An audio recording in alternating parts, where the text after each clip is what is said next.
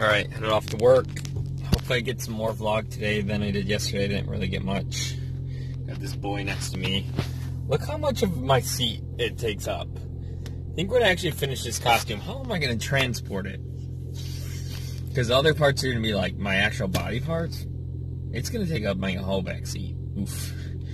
Um, but yeah, so headed to work. Hopefully I get some more footage today. But I'll check in later. The boy takes up the whole table. Is so stupid? This Seth can't set up what he's trying to set up. Seth is trying to buy a new a new model of a Vash revolver. Vash Stampede? Sure. Anime weed stuff. trying to buy a thing and they won't let me. Just I want to give them my money. Is- I know, isn't that the worst when you just want to pay your money and it's super difficult? Theoretical.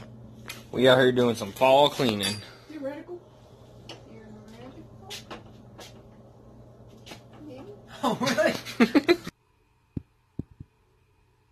About to watch some Mandalorian with James since I haven't seen the first one. So gonna watch that. There's my account, Timps. So gonna watch that and probably head home. Alright, after the Mando, I sanded his Bondo down. You can still see some of the lines, so I'm gonna have to do some more sanding and messing with him, but he's looking good. He's all he got all sanded and um, glued together, but it's just about getting rid of the lines where he got attached. I also might need to fill them with some like epoxy sculpt or something else. But I'm headed home.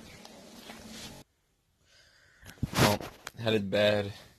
Did some sanding of the ears and one piece on the back of the head. So then tomorrow I can actually attach and filler prime all the back and the ears and everything. And then all I have to do is the hair. And then I will have it all assembled. And then I won't have to be taping it together anymore, which will be awesome. So, yep, that's about it. Going to bed. So, thanks for watching. See y'all tomorrow. And peace. Chunk up that deuce.